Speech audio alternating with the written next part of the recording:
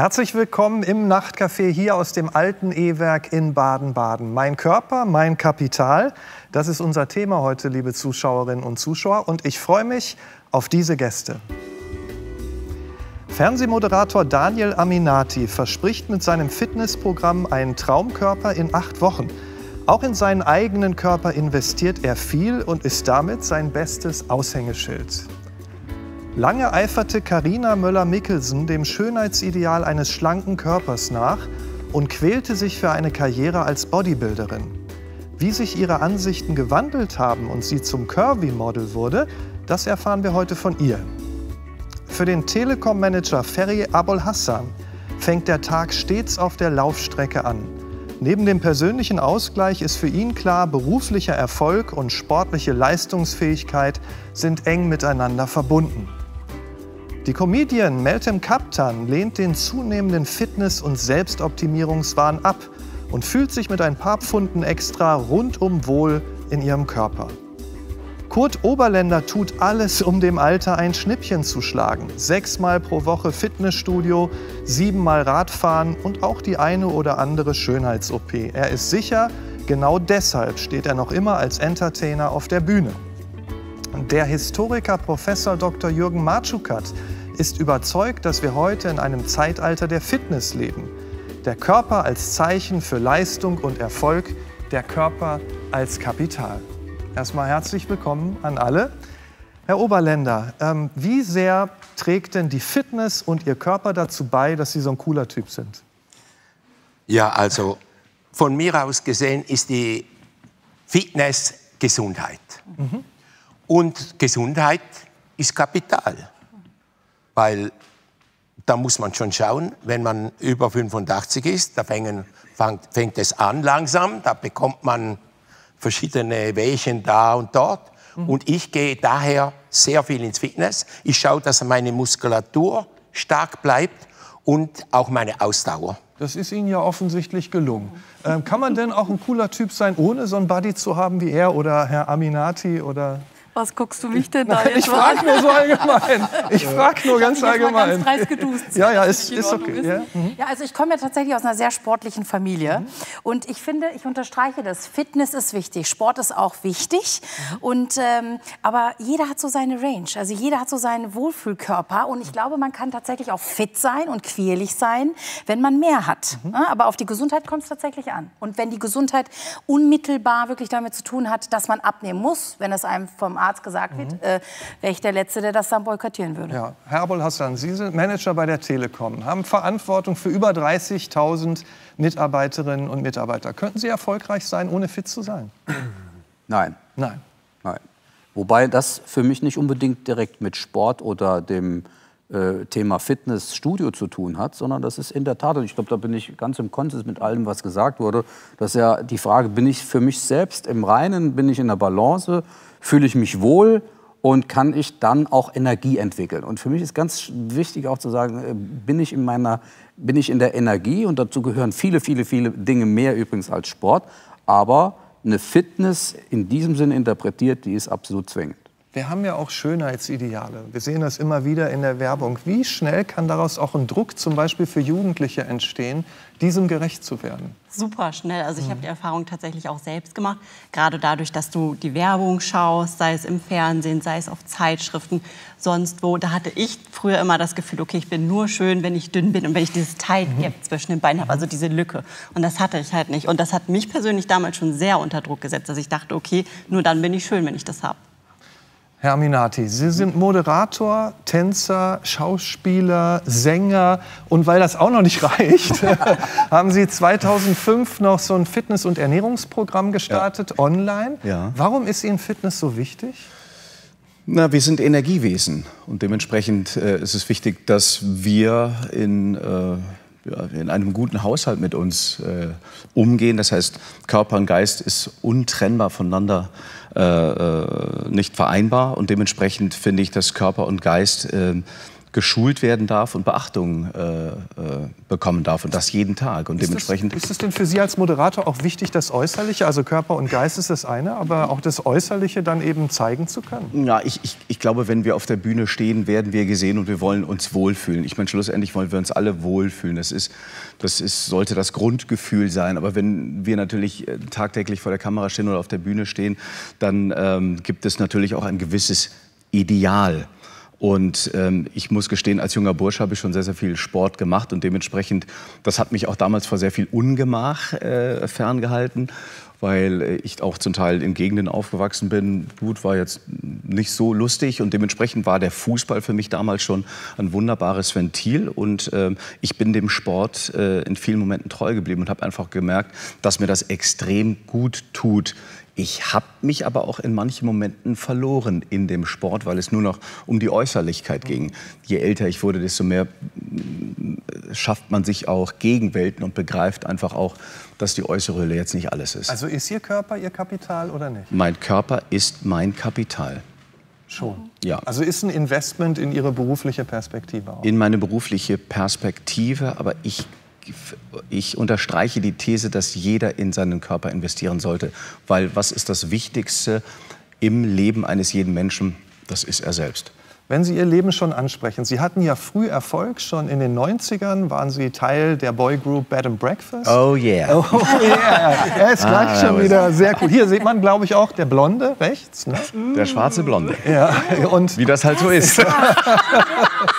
genau. Ähm, oh Sie, waren, Sie waren, oh Sie waren ja sehr, sehr. Wie leicht fiel Ihnen das eigentlich da nicht abzuheben in dieser Zeit, dann auf einmal so ein Erfolg zu haben? Ähm, äh, ich habe es gerade schon kurz angesprochen. Die, sagen wir mal, nicht ganz so einfache Vergangenheit, sehr ärmlich gewesen, dann auf einmal, äh, sagen wir mal, nicht von heute auf morgen, aber es war dann schon so, dass ich auf einmal mit 21 ähm, ja, zu Wohlstand gekommen bin. Und ähm, Geld darf auch gelernt werden, damit umzugehen. Und ich wurde zu meinem eigenen Klischee. Sprich, ich äh, habe mich da sehr verloren und dachte, wow, ich habe Kohle, also bin ich. Und dann bin ich ganz schön auf die Fresse gef äh, gef gefallen und habe so dieses typische Rock'n'Roller-Leben gelebt. Und dann äh, war der Erfolg auf einmal weg und was blieb mir dann? Gar nichts. Und also dann da, sind Sie in ein Loch gefallen nach dem Ausstieg ich, auch? Dann? dann bin ich in ein Loch gefallen und ich muss dann auch sagen, dann gab es irgendwann mal für mich die Entscheidung, entweder gebe ich jetzt auf oder ich gehe nach vorne. Und ich habe mich glücklicherweise für das Zweite entschieden. Und das fing auch damit an, dass ich gesagt habe, so jetzt stelle ich mir auch wieder den Wecker. Ich, äh, ich äh, schlafe jetzt nicht bis elf, lese dann mal irgendwie gemütlich die Zeitung und ähm, ja, lass den Tag irgendwie so an mir vorbeistreichen, sondern ich habe dann gesagt, ich krempel die, die Ärmel hoch und Sport war für mich ein, ähm, ja, ein Tool, um mich wieder in die richtige Richtung zu schieben. Ne? und dann heißt, haben Sie, glaube ich, auch mit dem Boxen angefangen? Und dann habe ich mit dem Boxen angefangen. Das heißt, ich habe mich aber mir ging es nicht darum, in irgendeiner Form wem anderen äh, was zu beweisen, sondern der Boxsport das, das war eine Challenge und ist nach wie vor eine Challenge für mich. Aber es ist schon so ein bisschen Rocky Balboa, oder? Also ja. er war am Boden, äh, keiner rechnet mehr mit ihm, dann 6 Uhr, er läuft auf die dunkle Straße, Aminati ist wieder da. so ungefähr, aber ich, ich, ich glaube fast, auch wenn die Nuancen natürlich bei mir vielleicht andere sind, aber die Geschichten sind überall dieselben. Mhm. Wenn Sie sagen äh, früh raus, Sie, Sie sind ja heute immer noch so, dass Sie früh Sport machen. Was heißt ja. früh? Jetzt ist es inzwischen 5 Uhr. 5 Uhr. Weil, ja, ja, weil, weil der Tag Was? hat natürlich nur begrenzt Stunden. Ne? Äh, und dementsprechend ist es so, dass von 5 bis 8, das ist so, ich nenne sie meine Quality Time. Mhm. Ähm, ich gehe aber auch zeitig ins Bett. Das heißt, meine Liebste und ich, wir, äh, wir sind um 10 äh, also 22 Uhr abends in der Koje und mir reichen dann diese äh, sieben Stunden in der Regel und dann ist es bei mir so, dass ich um 5 Uhr aufstehe und ich habe meine Rituale, das heißt, ich meditiere, ich schreibe und ich mache Sport. Das sind so die, die drei Stunden, die ich für mich habe und bis 8 Uhr habe ich auch wirklich dann auch, das Telefon ist ausgeschaltet und ich bin dann für mich. Und das ist ein guter Start für mich in den Tag, einfach weil es was mit Achtsamkeit zu tun hat. Es ist eine Verabredung mit mir selber. Und ich finde, diese Momente sollte jeder versuchen zu leben. Natürlich drei Stunden in der Früh kann nicht jeder. Und wenn Sie mal keine Lust haben, fünf Uhr und denken, ach nee, ähm, Bleiben Sie liegen oder tricksen Sie sich irgendwie aus? Ich, ich, natürlich trickse ich mich auch aus, weil wir sind alle keine Roboter. Mhm. Ähm, manchmal ändere ich das Programm. Es ist aber auch manchmal so, dass ich nicht dieses Trainingspensum absolviere, wie ich es normalerweise tue, sondern ich sage, okay, ich fühle in mich hinein. Wie fühle ich mich? Ich habe heute keinen Bock. Was mache ich dann? Äh, Wäre schon schön, weil wie fühle ich mich danach? Ich fühle mich gut. Okay, weißt du was, Daniel? Mach nur eine halbe Stunde oder mach nur das Aufwärmprogramm oder weiß ich, ich stretch heute ein bisschen und dann mache ich ein bisschen und dann stelle ich oft fest, ich ziehe dann doch das Training durch. Ich gebe zwar dann nicht immer 100 Prozent, muss man auch nicht, aber wichtig ist ähm, die Konditionierung beibehalten. Just do it. Das ist ein guter Claim. Wie eitel, wie eitel sind Sie? Ich bin eitel, ich will es aber nicht in diese ähm, narzisstische Ecke schieben, sondern ich gebe Acht auf mich. Und das ist Also nicht gut. so im Sinne, Sie stehen vor dem Spiegel und sind schon ein bisschen verliebt in sich, wenn Sie so gucken. Äh, Ach, manchmal schon. manchmal schon. Dann gucke ich so und denke mir, hey Daddy, what's poppin', Bro? Aber in, ich meine, ich bin ja jetzt seit anderthalb Jahren wieder äh, liiert mit, mit meiner lieben Patrice und wir haben es uns auch in den letzten Monaten schon gut gehen lassen. Und das war dann nicht mehr so, hey Danny, okay, fuck, ich gehe mal vom Spiegel weg. Also jetzt greife ich da mal wieder an. Und ähm, ja, es sind bei mir auch immer Phasen. Also ich, ich lasse es mir auch immer mal wieder gut gehen. In der Regel ist es so, dass ich aber von Montag bis Samstag recht diszipliniert lebe. Am Sonntag ist mein Cheat Day, da lasse ich es krachen. Herr Scheinbrecher, kommen Sie mal vorbei. richtig. Und dann dann geht's richtig. ja, ja, klar, weil wir müssen uns auch immer wieder ähm, ähm, auch ähm, be belohnen, Auszeiten gönnen, äh, den Stoffwechsel äh, auch immer mal wieder aufwirbeln. Nichts ist so langweilig wie Gewohnheiten, ne? aber manchmal Gewohnheiten brechen ist schon auch ganz gut. Ich habe ja gesagt, vor fünf Jahren haben Sie dieses Fitnessprogramm gestartet. Ja. Das heißt, Sie sind in gewisser Weise auch Teil der Fitnessindustrie. Sie investieren nicht nur in Ihren eigenen Körper, sondern Sie profitieren auch davon, dass Leute sagen, ach ja, ich könnte auch mal wieder Ja, äh, was tun. absolut. Und so sieht das aus, wenn Sie in Aktion sind. Let's go! Auf den Boden.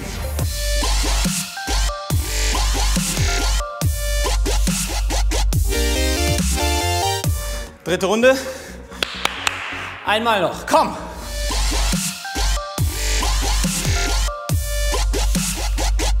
Training Nummer 11.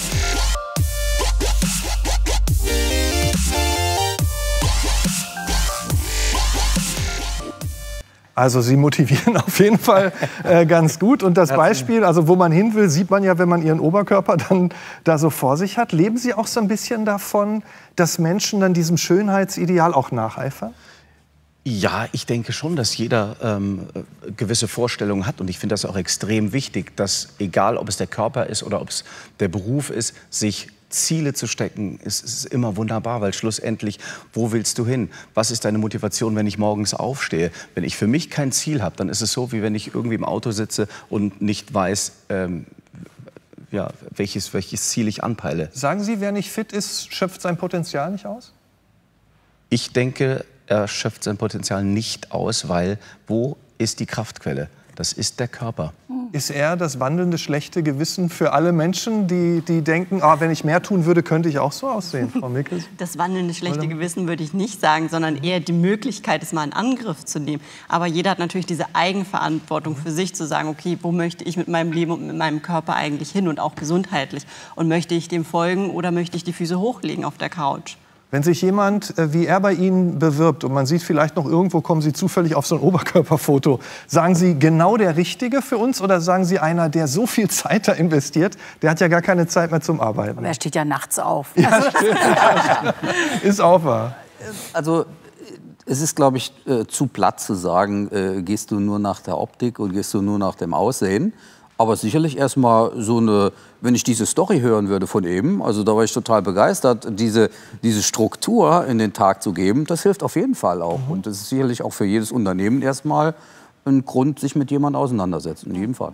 Wie sehr kriegen Sie so mit, dass äh, Fitness und Fitsein und diese körperlichen Ideale immer mehr also einen Stellenwert haben auch? Also was ich, ich finde, wie äh, Herr Aminati, der liebe Daniel das gerade erzählt hat, wenn, wenn man sagt, es ist wirklich die Zeit für mich selber. Und das auch, ich schreibe, ne, das hast du ja gerade sehr schön erzählt, äh, wo man merkt, okay, das ist wirklich eine äh, Zeit auch der Achtsamkeit und wo man in sich hineinhört. Und was ich auch sehr schön fand, wo du gesagt hast, heute habe ich keine Lust. Das heißt, der erste Weg mal zu gucken, wie weit will ich eigentlich gerade gehen.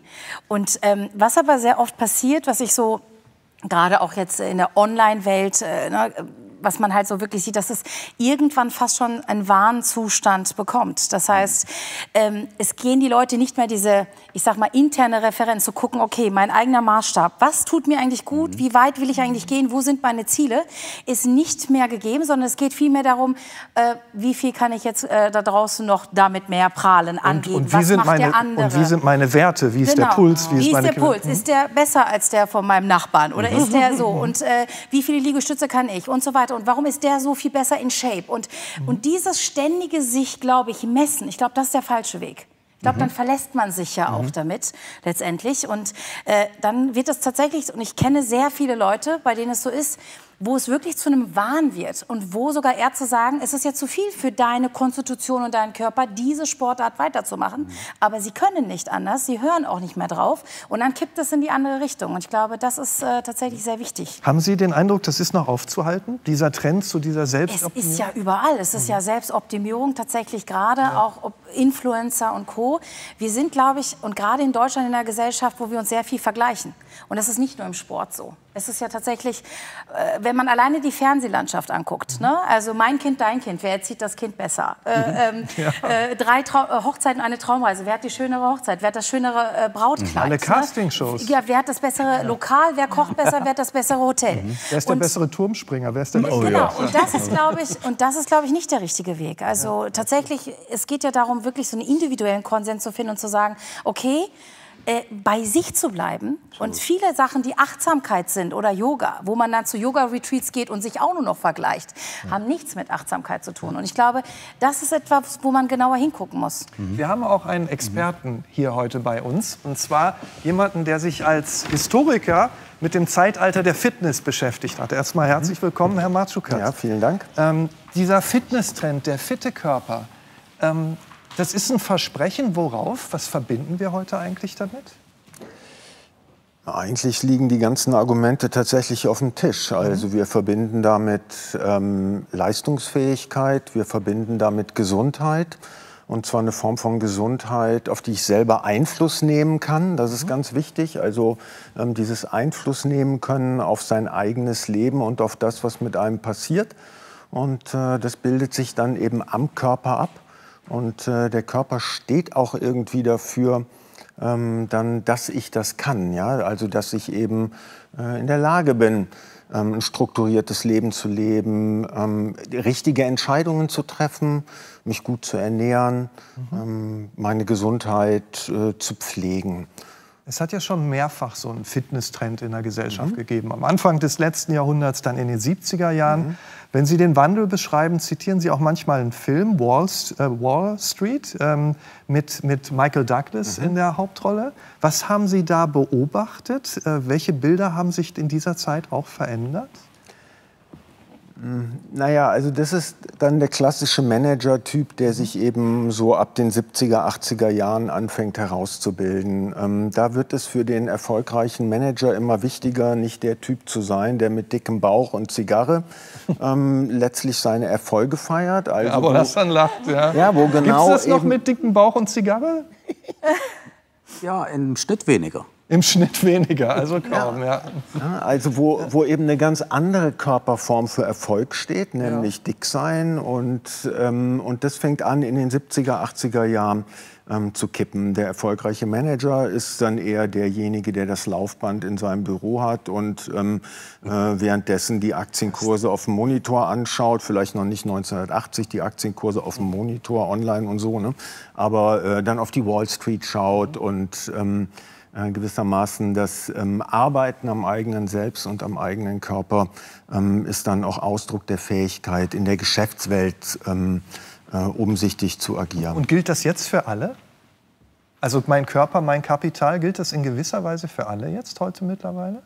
Naja, nichts gilt für alle. Ähm, Oder für es ist viele? schon eher, glaube ich, ein Phänomen, was zuerst mal in so etwas, was man als die Mittelklasse beschreiben könnte, sehr stark um sich gegriffen hat. Es ist aber zum Beispiel eindeutig so, dass sich die Bedeutung von Dicksein verändert hat. Also während Dicksein früher ein Zeichen von Erfolg eher gewesen ist, ist es heute eher ein Zeichen oder wird als Zeichen oft gedeutet, ähm, falsche Entscheidungen getroffen zu haben in seinem Leben. Und ähm, also die Stigmatisierung von äh, dicken Menschen ist ähm, immens groß. Nun ist es ja auch so, dass mittlerweile fast die gesamte Gesellschaft in irgendeiner Form was mit Sport, Wettbewerb mhm. und so weiter zu tun hat. Herr Abul Hassan hat Sneakers an, ja, also auch nicht mehr die üblichen, die üblichen Lackschuhe von früher. Mhm. Äh, in der Jugendkultur haben wir ähm, natürlich auch ganz viel Sportindustrie, Sportartikelhersteller. Es gibt die TV-Formate, die entsprechend auf Wettbewerb getrimmt sind. Wie mächtig ist der Sport und ist diese Sportindustrie mittlerweile? in unserer Gesellschaft? Also das ist immens und auch das hat sich seit der Zeit ähm, entwickelt, dass ähm, eben Menschen, die da sehr aktiv sind, dazu beitragen können, tatsächlich auch einen Sportmarkt zu prägen. Also eines der besten Beispiele ist für mich immer noch Jane Fonda und Aerobic. Also vor Jane Fonda und Aerobic ähm, kannte man keine Legwarmers und äh, keine engen Leotards und ähm, sowas wie Spandex war auch noch nicht in. Also diese äh, Fitnesskultur durchzieht eben auch auf dieser Modeebene ähm, sehr stark unseren Alltag. Und dann als ein ähm, als ein Markt ist das natürlich von immenser Bedeutung, also von Nahrungsergänzungen ähm, über äh, Carbonfahrräder ähm, bis zu äh, Wanderurlauben, die ähm, in den ja, 70er, 80er Jahren eher was für ähm, verstaubtere, äh, die verstaubtere Großelterngeneration waren und die heute ähm, unglaublich en vogue sind. Herr Matschukat, wir kommen immer wieder zu Ihnen zurück, aber vorher noch mal zu Ihnen, Herr Aminati. Ähm, wir haben es ja schon angesprochen. Es gibt ähm, visuelle Medien, es gibt Instagram, es gibt die sozialen Medien, äh, die sozialen Netzwerke, es gibt Werbung. Wie sehr führt das alles zu diesem ständigen Vergleichen? Passe ich in dieses Bild oder passe ich da nicht rein? Ich glaube, wenn wir uns, äh, wenn wir da ganz ehrlich sind, es geht, und da fängt auch Unglück an. Äh, Sie haben es eben schon gesagt. Mhm. Kannst du ähm, gerne duzen, da, Darf ich Sie duzen? hallo, ich bin der Daniel. Ja, hallo Dan. Hallo Madam.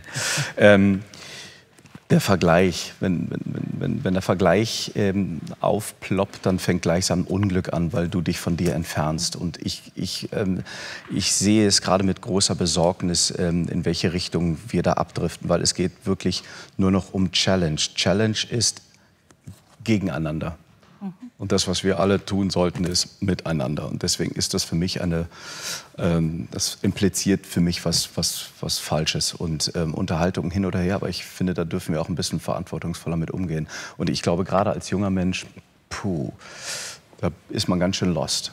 Wie sehr kriegen Sie das mit, dass es auch Menschen gibt, die dann sagen, ach, hier habe ich ein Fettröllchen, das verstecke ich jetzt mal und all das? Das Lustige ist ja, ja Michael, das Lustige ist, also klar, äh, äh, Backstage sehe ich das ja schon bei meinen Kolleginnen, die mhm. wirklich schlank sind, wo ich sage, 90, 60, 90.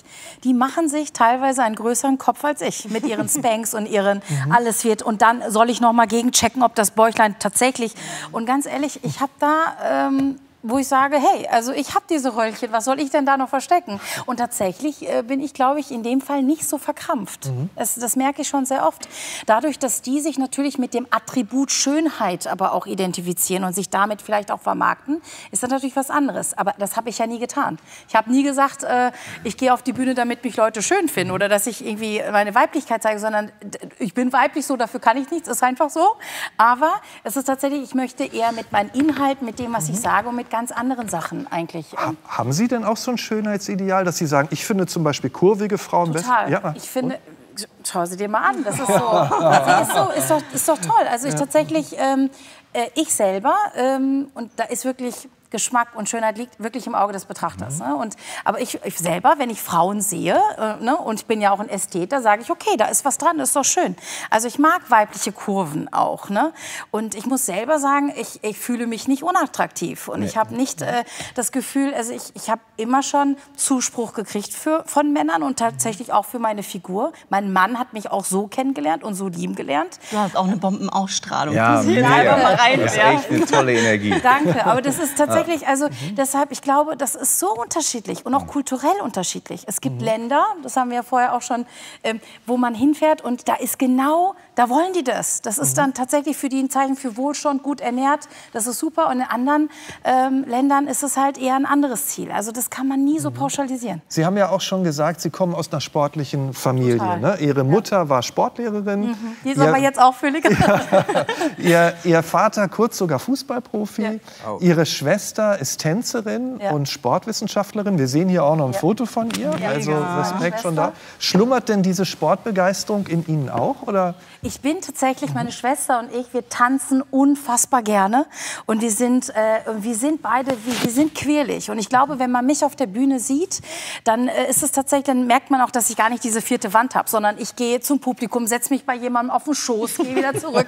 und äh, bin, glaube ich, werde sehr oft auch als quirlig und teilweise auch als Flummi. Also ich habe sehr oft auch so, es ist sehr Flummi äh, ähm, gehört. Das heißt, meine Mutter zum Beispiel, auch nur eine proper Frau, ist aber tatsächlich auch sehr, sehr energetisch. Und deshalb, ja, energetisch sein und Energie ist tatsächlich ähm, sehr wichtig.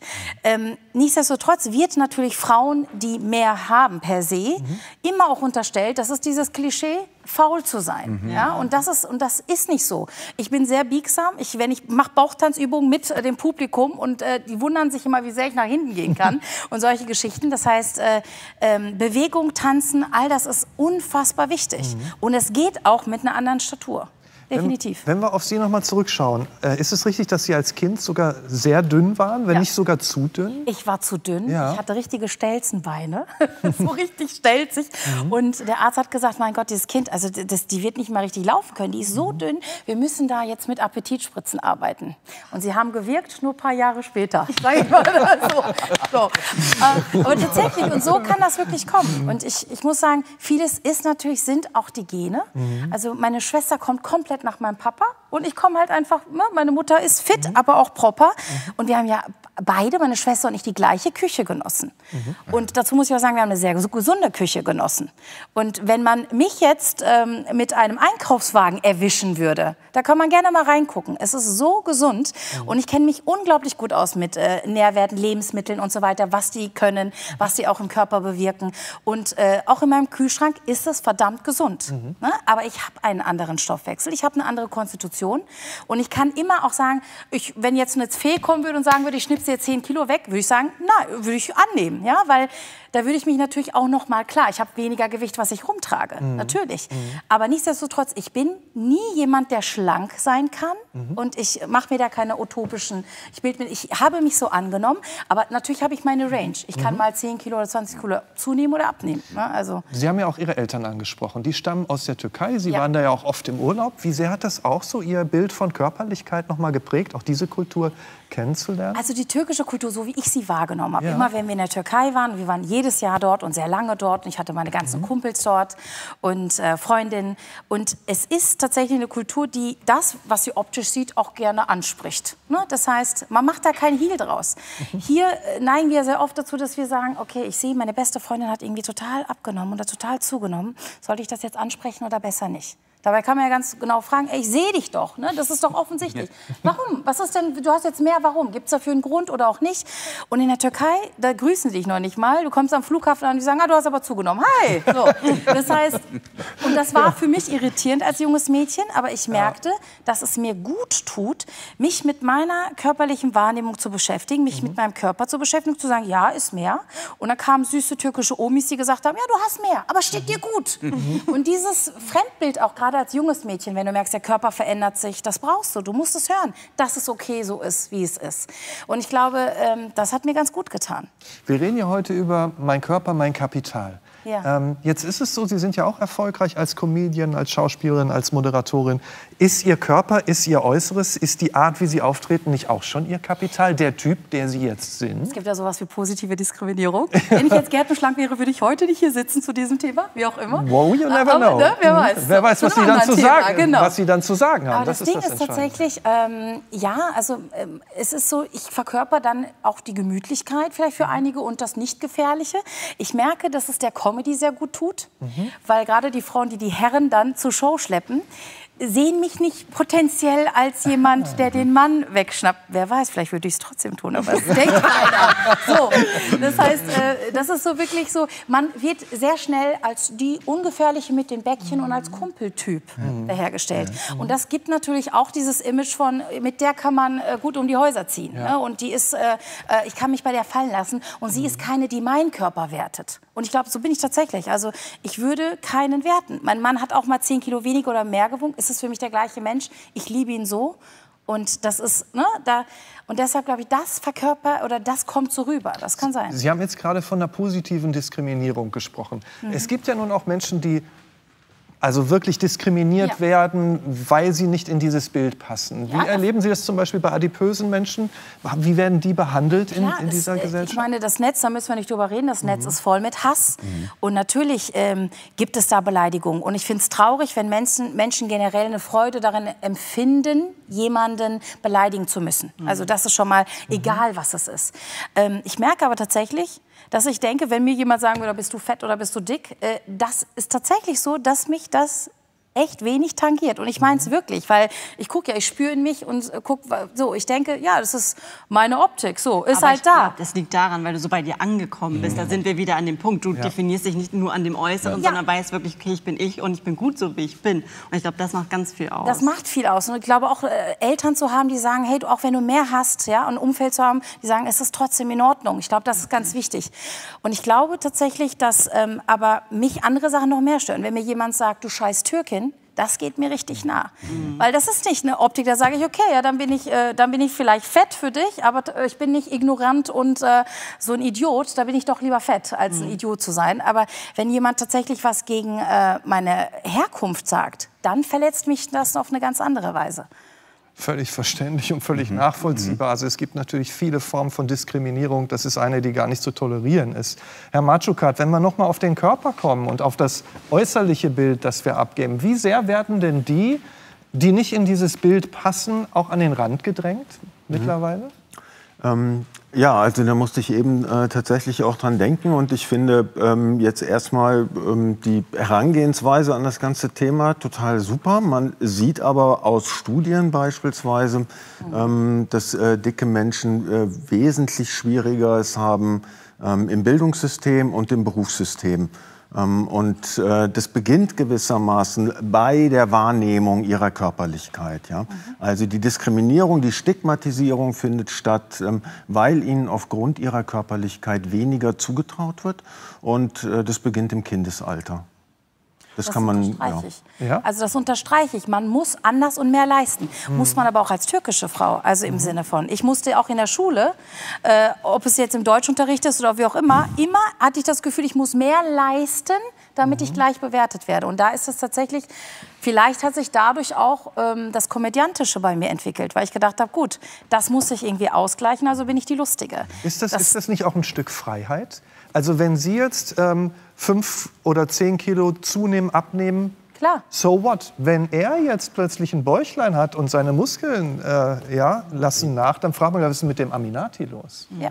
Also ist das auch ein Stück Freiheit, die Sie jetzt einfach Total. Und ich meine, klar, er ist in dem Kontext Sport und Fitness. Dann Mhm. ist es natürlich so, dass man da vielleicht anders wertet. Ich habe mich tatsächlich wirklich davon frei gemacht. Also äh, das war auch kein leichter Weg, aber ich habe mich wirklich davon frei gemacht. Und wenn mir jemand damit kommt, dann sage ich, es sind nicht die Attribute, mit denen ich auffallen will. Aber wenn Sie sagen, Sie haben sich davon freigemacht, was war denn der Weg dahin? Wie haben, wie, tatsächlich immer wieder bei sich, bei sich zu gucken. Also immer wieder auch Erfolge, die man hat, auch wirklich anzunehmen und zu feiern. Zu sagen, guck mal, du bist erfolgreich, ganz egal, ob du jetzt mehr oder weniger hast. Und ähm, ich, ich mache genauso Denksport. Ich will fit sein im Kopf und ich will, will clevere Sachen haben. Ich will, wenn ich äh, Esprit und Lust, äh, lustig bin, wie auch immer, nicht einfach nur platten Humor machen, sondern ich will um die Ecke denken. Und das sind auch Sachen, wo ich mich fordere, wo ich eine Leistung habe. Und es kann nicht sein, dass Leistung tatsächlich nur an Körperlichkeit gebunden ist. Ich habe das irgendwann losgelöst davon. Und es, aber wie gesagt, wenn jemand Sportler ist, Athlet ist, wunderbar. Aber dann hat er das für sich gewählt. Aber ich habe das nicht gewählt. ja. Ich würde gerne auch noch mal so einen anderen Gedanken reinbringen. Also wir reden immer so in dem Thema dick sein versus dem fit sein. Also das sind für mich schon noch mal zwei völlig verschiedene Charakteristika. Und ich sage das deswegen jetzt auch noch mal, weil mit einem Thema, da denke ich die ganze Zeit drüber nach, äh, hat man, wenn man dick ist, weniger berufliche Chancen. Und da sind wir jetzt hier ein großes Unternehmen und ich denke wirklich offen und fair drüber nach und würde das nicht so unterstreichen. Also äh, ich sehe ganz viel kompetente, fähige Manager um mich herum, die nicht sportlich wirken und sportlich sind.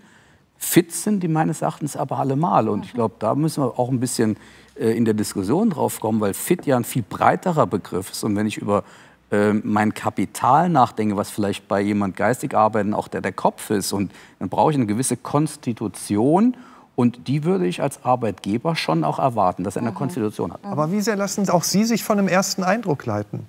Also Ähm. erkennen Sie die Leistung auch hinter jemandem, der nicht den, den körperlichen Idealen Versuche ich jetzt wirklich mal ganz ehrlich zu sein. Wäre jetzt populistisch und, und, Ja. äh, und opportunistisch zu sagen, überhaupt nicht.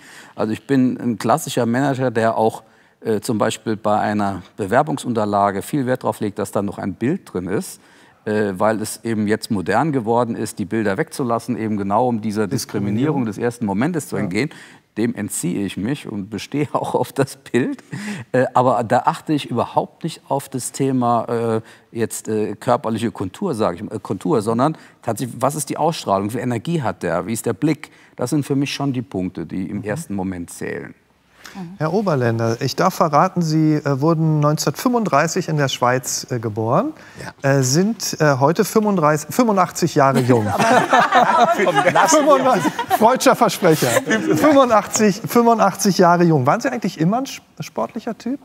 Auch mit Ich war- 35 schon? Also ich habe, nein, als ich, als ich jung war, habe ich Tennis gespielt. Aber äh, da hat dann die Knie wollten nicht mehr. Ich habe Gelenke bekommen, zwei.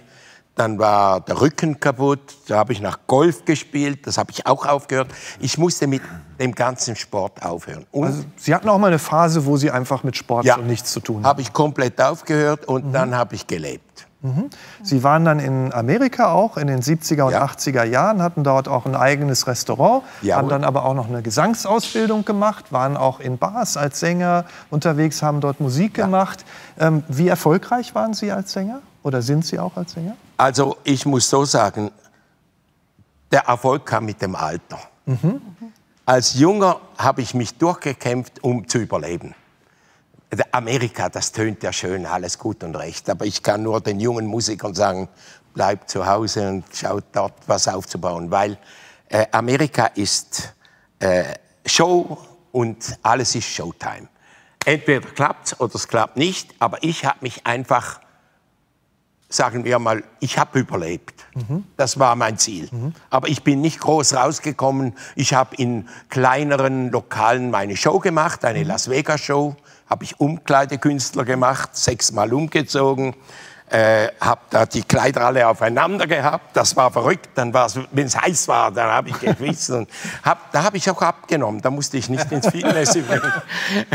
Und dann habe ich nachher mir gesagt, nein, ich gehe wieder zurück in die Schweiz, weil eine Frau ich wollte kennengelernt, heiraten. ne? Ja, ah, ja. Ich wollte noch eine Familie. Ja. Meine Mutter, die war schon sehr alt Ja. und hat immer gesagt, äh, du bist der, der, der andere Sohn wollte überhaupt nicht. Dann hat gesagt, ich möchte noch Großmutter werden. Jetzt ist ein Feuer. Du bist schon 50. Was willst du noch?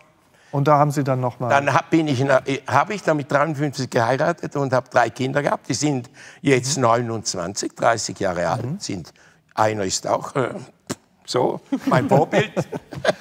und äh, ich habe dann eine ganz schöne Zeit gehabt in der Schweiz. Und Sie mit haben- einem Schwimmbadrestaurant, das ich gehabt Und Sie haben ja auch weiterhin noch Auftritte gehabt. Und vor ein paar Jahren haben Sie dann noch in einem Altenheim gespielt. Und da gab es eine Begegnung, die was ausgelöst hat. Erzählen Sie mal davon. Ich habe in einem Altersheim gespielt und als ich fertig war, war ich wie kaputt. Ja, das kommt ja manchmal vor nach einer Show. Völlig ist- erledigt. Und da musste ich noch die ganzen Koffern und das ganze Gepäck in meinen Wagen äh, äh, transportieren. Und dann war der Sohn dieser Frau, die das Altersheim hat, der, der hat mich so angeschaut und sagt, ja, du bist auch nicht mehr so gut drauf. ne?" Und da bin ich so ein wenig verrückt geworden. Weißt, du, ich habe gesagt, du, ich bin acht- 78? Ja. Ja, also bitte. Was willst du denn da mir sagen? Und da hat er gesagt, ja, aber du könntest besser sein. In deinem Alter. Da sage ich, ja, aber du bist ja ein Junger. Sag, komm zu mir ins Fitness. Ich habe ein Fitnessstudio. Und aber auch so, also wirklich gut gebaut. Er ist auch ein Vorbild. Du bist mein Vorbild. Aber, Aber ich, ich weiß, da, darf ich Ihnen was sagen? Mit 85 möchte ich genauso sein wie Sie. Weil Sie, Sie sagen mit, mit jedem Satz, mit jedem Wort sagen Sie Ja zum Leben. Und das ist das, was ich geil finde. Big time. Ja. Also der hat mir dann gesagt, komm zu mir.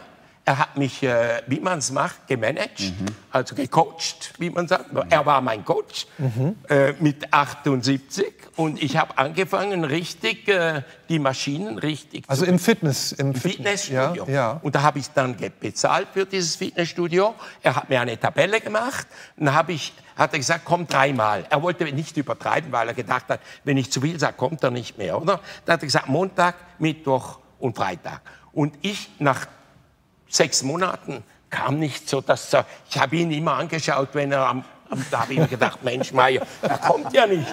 Und da habe ich meinem Sohn gesagt, du soll ich mal da ein wenig. Äh, "Was spinnst, bist ja verrückt." Und dann habe ich einen Doktor, meinen mein Hausarzt konsultiert und habe gesagt, du, äh, kann man da ein wenig äh, etwas machen mit Testes, Testosteron? Da hat er gesagt, du bist ja verrückt, du bist ja still, dein Alter war das nicht. Und dann habe ich nachher sechsmal trainiert die Woche, ab dann, weil ich gedacht habe, Und, und der Körper hat das aber gleich alles mitgemacht. ja, und dann kam, also da kam immer mehr. Und ich, ich, nein, und da bin ich natürlich, ich bin schon auch einer, der gern vor dem Spiegel steht. Aber nur wenn niemand schaut, wenn niemand schaut. Da habe ich mich so, weißt du, wenig so, habe ich gedacht, oh, jetzt kommt's. Und dann habe ich meinen Sohn, der auch so ziemlich, habe ich dann äh, mal zu mir nach Hause, habe ich gesagt, du komm mal schauen. Und dann hat er gesagt, ja, aber so wie ich siehst du noch nicht da. Habe ich gesagt, das kommt, warte nur. Aber ich bringe das nicht. Also Sie, Sie sechsmal in der Woche ins was? was Also jetzt gehe ich sechs, ja. Was nicht, nicht sechs, sechs, sechs Ja, Mal. ja, ja, logisch. Ja, eben, ja, das wollte ich noch sagen. Ja, ja, nee. Aber ich gehe sechsmal, aber manchmal sogar siebenmal. Manchmal sieben. Heute, diese Woche gehe ich nur sechsmal, weil ich ja heute nicht gehen konnte. Und, und haben Sie denn dann überhaupt noch Zeit für eine Partnerschaft nebenher bei all dem Sport? Ich habe keine Partnerschaft mehr. Deswegen wahrscheinlich. Ja, darum habe ich Zeit. Nein, ich hatte eine Partnerschaft, Ja. die, die hat mit mir Musik gemacht. Wir waren bei den größten Schweizer Talenten im Halbfinale und sind auch einige Male beim Supertalent gewesen. Wir kamen nie weiter, leider. Ja, Halbfinale ist doch schon mal super. Ja, in, in der Schweiz. Aber, aber nachher ist sie von mir gegangen, weil sie mir mal gesagt hat, weißt du, Kurt, es tut mir leid, ich liebe dich so sehr, aber äh, wenn ich pensioniert werde, bist du 90. Und was will ich dann noch mit einer... Ja, vermutlich hatte sie Angst, dass sie mich im Rollstuhl dann vielleicht... Ich weiß nicht. Auf jeden Fall hat sie äh, gesagt, schau mal, äh, du musst das begreifen. Und wir haben, in Frieden ist sie von mir gegangen. Und dann habe ich aber weitergemacht mit dem Supertalent. da bin ich dann reingekommen, oder? Und das Sie, war letztes Jahr. wie süchtig sind Sie jetzt fast danach, Sport zu machen? Das stimmt nicht mit dem Süchtig. Also da bin ich nicht einverstanden. Man hat mir mal gesagt, dass Leute, die jeden Tag gehen, dass der Körper das verlangt. Aber ich muss, jeden Tag brauche ich Willen und ich muss mich jedes Mal am Riemen reißen damit. reißen damit. Und, und haben Sie denn den Eindruck, selbst wenn Sie jetzt keine Partnerschaft haben, dass das durchaus auch bei Frauen gut ankommt, dass Sie jetzt so äh, energetisch sind? Ähm, Das müsste ich ausprobieren. Das. Ja, das werde ich mal ausprobieren. Bei der nächsten Sendung werde ich dann das kommentieren. Einmal zur Ex hingehen und sagen, na, Ja, ne? na, hast dich geirrt, was? Ja. Sie sind ja jetzt die Jüngste hier in der Runde. Was ist er für Sie? Vorbild oder eher? Also ich finde das absolut cool und Mhm. ich hoffe auch, dass wenn ich mal älter bin, dass ich genauso ehrgeizig bin und genauso cool drauf bin. Also wirklich Hut ab, ich finde das richtig, richtig gut. Was sagen Sie, Frau Kapter? Bisschen Äh, Ich finde ihn fanatisch? toll. oder? Ich, ich habe ihm schon gesagt, ich nehme ihn mit nachher. Ich finde ihn toll. Ich will ihn als Lebensberater, als Coach an meiner Seite haben. Aber ich glaube, es ist viel mehr als dieser Sport tatsächlich. Es ist diese ganze Lebensfreude, die er hat. Er strahlt über beide Backen. Und ich glaube, das ist diese Energie, die mich tatsächlich... Also ich achte nicht auf äh, Muskeln. Ich muss auch sagen, ich finde dich als Moderator toll. Ich mag deine Pausbäckchen, ich mag deine Stimme. Aber wenn ich jetzt sagen müsste, habe ich deine Muskeln angeschaut? Nein. Halt, es tut mir leid. Vielleicht sollte ich das noch tun. Aber es, es interessiert mich nicht. So, es interessiert mich was anderes äh, bei dem Menschen. Und das ist so dieses gewisse Etwas und dieses Funkeln in den Augen, das hat er total. Und das finde ich toll. Ähm, Sie haben dieses Funkeln in den Augen und Sie gehen trotzdem ab und zu auch zum Schönheitschirurgen. Ist das richtig? Aha. Obwohl, Jetzt kommt's jetzt, raus. ja, ja, Jetzt kommt die Stunde der ja, Wahrheit. ja, oder? Lassen Sie so ein, das eine oder andere machen? Mach ich. Ja? Ja. Was, was, was machen Sie da? Oder Alles. Alles, was, alles, was jung macht.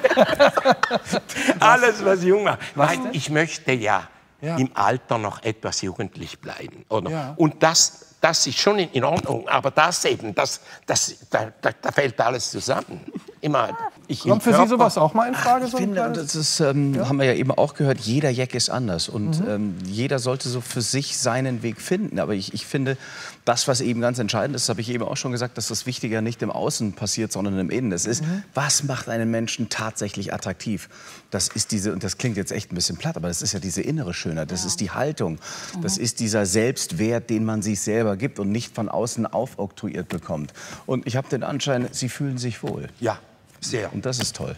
Hundertprozentig. Also ich, so gesund wie jetzt war ich nicht vor 20 Jahren. Ich, hab, ich bin 20 Jahre nicht bei einem Arzt, nicht. Ich habe gar nichts. Ich, ich möchte, also, aber da ist ja auch noch die Gene von meiner Mutter, die 97 war und nie krank war. Oder? Und das, das hat schon auch mit dem zu tun. Ja. Ich kann also Glück haben, dass vielleicht, ja, dass das noch Aber ich so mit ein weitergeht. paar Falten mehr, finde ich dich auch toll. Ja. Hättest du die gleiche Sicher. Energie, glaube ich. Dann soll ich nicht mehr gehen. Nee, also, für mich nicht, das aber... wirklich die Augen, die leuchten doch auch damit. Die, die Augen leuchten trotzdem. Ja. Ja, aber, aber Und auch so, die Ausstrahlung ist ja da. Die Ausstrahlung ist schon da, aber ich, ich war ja in Pattaya Ja. vor jetzt gerade und da konnte ich nicht mehr zurück. Darum bin ich jetzt in der Schweiz, ne? darum bin ich hier. Und äh, da habe ich auch wieder ein wenig machen lassen. Ne? Also sind Sie denn schon so kritisch, weil Sie sagen, Sie gucken sich ja auch Ja, gerne im Spiegel sehr kritisch. dass Sie so ein bisschen sich angucken wie so ein Auto und überlegen, da könnte was repariert werden, da ein bisschen Genau neuer so. Lack? Ja, ehrlich? Ja, wenn ich jetzt da unten, wenn da wieder Ja. was kommt, dann gehe ich gleich wieder. Sag mal, da muss ich dich mal was fragen. Wie wäre es denn jetzt, wenn du eine Partnerin hättest? Hast du dann auch den Anspruch, dass sie auch was an sich machen lässt, um sich halt so straff zu halten, sag ich mal? Oder sagst du, da ist es egal? Ja, also wenn sie in meinem Alter wäre, dann würde ich schon sagen, geh an Okay.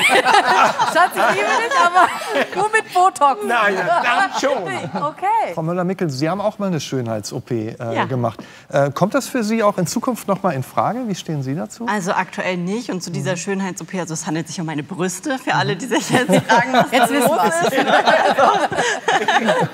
ähm, genau, da handelt es sich um meine Brüste. Und, und da war es tatsächlich so, dass ich wirklich noch so mega in diesem Bodybuilding-Sport drinne war. Und ich hatte von Natur aus nie wirklich viel Oberweite. Und durch den Sport war das sowieso dann bei mir alles komplett weg. Und gerade wenn du als Athletin auf die Bühne gehst und so, dann bekommst du schon unterbewusst mit, dass einfach ganz viele Frauen da auch ihre Brüste gemacht haben. Und damit du eine gute Chance hast oder eine noch bessere Chance, gehört das halt irgendwie dazu. Und ich hatte nie ein richtig krasses Problem damit, dass ich eine kleine Oberweite habe, sondern es war eher so, okay, ich, ich mache das jetzt. Ich habe mich so ein bisschen mitreißen lassen, sagen wir es mal so. Bei Ihnen ist es ja auch so der Punkt, ich will jung sein, Herr Matschukat. Wenn wir über diesen Fitness-Trend reden, ist das, ist das äh, die Schwester oder der Bruder von, von diesem Jugendwahn oder Jugendtrend? Gehört Auf das jeden? Fall. Also Ja? Jugend und Alter sind im Fitnesstrend ganz wichtig. Äh, Da gibt es verschiedene Stufen. Ne? Also einmal sind es äh, dann vor allem Männer in den, sagen wir mal, späten 30ern, die feststellen, oh, jetzt fängt es an schwieriger zu werden. Ähm, es zwickt mal hier und da, man ist häufiger müde, als man es vielleicht früher war. Und ähm, äh, der, der Speck am Körper, der geht auch nicht mehr so leicht weg. Ja? Und äh, dann durchlaufen viele sowas wie eine Konversionserfahrung. Ja? Ähm, also das ist dann fast ein religiöses Erlebnis. Ja? Jetzt äh, verändere ich mein ganzes Leben und lebe fortan ein Leben im Zeichen der Fitness. Also so die späten 30er, 40er sind oft ganz wichtig. Naja, und dann gibt es diese sogenannten neuen Alten, äh, von denen ja auch in der Soziologie viel die Rede ist, die eben ähm, ähm, altern, aber im Alter auf nichts verzichten wollen. Also da ist ähm, das Ausgehen, der Theaterbesuch dann eben genauso wichtig wie ähm, noch Leistung, körperlich leistungsfähig zu sein und eben auch Sex haben zu können. Und, und wenn dann das Äußerliche dabei auch wichtig ist, ist doch eigentlich der Weg zur Schönheits-OP auch nicht mehr weit, oder? Ja, genau. Also ähm, klar, also ähm, Schönheitsoperationen sind tatsächlich auch in so einem Kontext ähm, ähm, in einem größeren Kontext entstanden, den man damals äh, den Verjüngungsrummel nannte. Im frühen 20. Jahrhundert, im äh, späten 19. Jahrhundert ging das los. Also dass sehr viel von äh, Verjüngung die Rede war, ähm, äh, jung bleiben, leistungsfähig bleiben, sich wieder jünger machen. Ähm, und äh, da ist das Arbeiten am eigenen Körper die eine Sache. Ähm, die andere Sache ähm, ist dann aber eben ein chirurgischer Eingriff. Und da gibt es die unterschiedlichsten ähm, Möglichkeiten. Ne? Ähm, ästhetische Operationen und ähm, andere. Was ist denn damit verbunden, wenn Sie sagen, ach, ich möchte nicht alt aussehen? Heißt, steht denn Altsein dann für nicht mehr leistungsfähig sein, für nicht mehr auf der Bühne stehen können, für nicht mehr im Beruf sein oder wofür steht das für Sie? Ja, Ja? also wenn ich nicht so fit wäre, könnte ich diese Shows nicht mehr machen, die Ja. ich jetzt. Das ist unmöglich. Ja. Also rein schon das Aufstellen und Abbauen von den Instrumenten, alles, das liegt nicht mehr drin. Ich glaube, jetzt ist der Zeitpunkt, wo wir mal sehen sollten, was Sie tun. Sie sind ja Musiker, Entertainer, Alleinunterhalter und definitiv auch ein Typ, der aus sich rausgeht.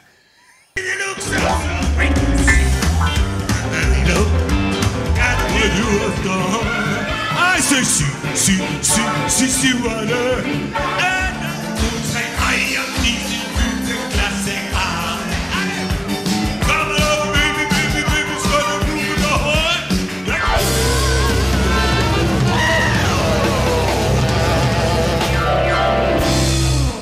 Boah, jetzt müssen wir mal so ein bisschen. Aber das ist ja nicht nur Fitness, sondern auch so der Typ, oder? Der, der Sie ausmacht. Ja, Ja. ja das stimmt. Ja. Und, und äh, was können Sie denn noch genießen, wenn wir jetzt mal ähm, all das, worüber wir reden, Körper, Fitness und so, was ist das, was Sie im Leben sonst genießen? Also ich genieße jetzt meine, meine Kinder natürlich, oder? Und die haben Riesenfreude an mir auch. Weil äh, auch jetzt, diese Sendung werden sie schauen und haben daran Freude. Und auch, sagen wir, der Erfolg von, sagen wir, diesem Clip, nicht dieser da, aber der vom, vom Supertalent wurde 1,4 Millionen Mal geklickt. Und das ist für mich natürlich eine Ries in dem Alter das noch fertig bringen. Das freut mich. Wenn Sie immer sagen, in diesem Alter, ist das einfach auch so ein Zeichen wie, ich bin nicht so, wie die denken, was man in diesem Alter ist. Ich habe Kraft, ich bin da, ich bin nicht auf den letzten Metern. Ich will nicht unbedingt beweisen den alten Leuten, dass man das kann. Es geht nur um mich persönlich. Ich, ich will kein, äh, äh, sagen wir, ein Vorbild sein, jetzt unbedingt für die alten Leute, die 85 sind. Weil ich glaube, es gibt 85-Jährige, die haben es viel ringer als ich. Oder die müssen nicht, wie ich, also müssen. Die, sie sitzen zu Hause und haben einen schönen Lebensabend. Und ich arbeite an meinem Körper und bin immer dran mit Fahrrad und Fitness und Streckübungen. Ich denke immer nur den ganzen Tag einfach, was könnte ich noch machen, dass ich fit bleibe. Ein Text lernen. Jetzt habe ich gerade wieder einen Text gelernt Ja. für Voice of Switzerland, einen, einen schönen Text. Und äh, da muss ich noch, habe ich viel mehr Schwierigkeiten, das gebe ich zu. Ein Text geht bei mir nicht mehr so schnell rein Ja, wie vor äh, z- 30 Jahren. Ich brauche jetzt, ich habe bei meinem Fahrrad so ein Gestell mit dem Text. Und wenn ich fahre, dann übe ich die ganze Zeit meinen Text. Ich, ich, ich, darf ich ganz kurz fragen? Ich, ich habe ja eben gesagt, Sie sind in jedem Moment so lebensbejahend. Es ist jetzt vielleicht eine Frage, die vielleicht ein bisschen unangenehmer ist, aber wie gehen Sie mit dem Gedanken von Tod um? Ja, ich denke gar nicht an das jetzt, weil ich ja sehr alt werde. Oder ich werde ja 100. Ja, ja. Er wird ja 120 bitte. Macht Ihnen das Angst? Ich frage nur deshalb, weil ich fange schon an, mich bewusster mit Tod zu befassen, weil das hier so tabuisiert wird. Aber ich glaube, je, je, je lebendiger, also beziehungsweise je mehr du dich mit dem Tod auseinandersetzt, desto lebendiger, glaube ich, kann man leben, oder? Also bei mir ist es so, ich war bis vor einem Jahr, zwei Jahren, war da, habe ich überhaupt nie an das gedacht. Überhaupt nicht. Und da ist ein Freund von mir, der war Kunstmaler und der ist mit Exit gestorben. Exit in der Schweiz. Ja. Da trinkt man etwas oder bekommt eine Spritze und, dann, und der hat das gemacht. Und der hat mir vorher noch gesagt, am Samstag war ich bei ihm, habe ich gesagt, du, ich komme Montag wieder dich besuchen.